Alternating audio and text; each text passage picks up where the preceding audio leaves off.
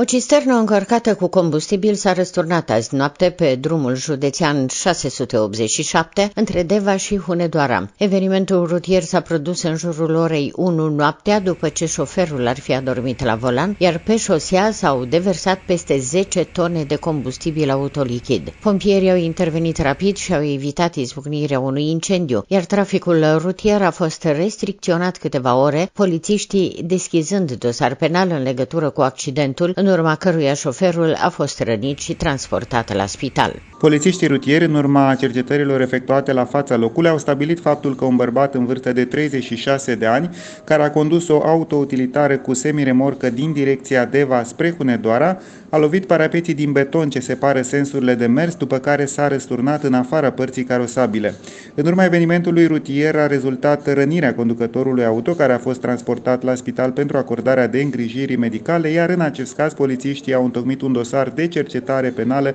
pentru vătămare corporală din culp. Polițiștii le recomandă participanților la trafic să respecte cu strictețe regulile de circulație, să adapteze permanent viteza la condițiile de drum și să se informeze cu privire la condițiile meteo și tronsoanele de drum pe care le vor parcurge.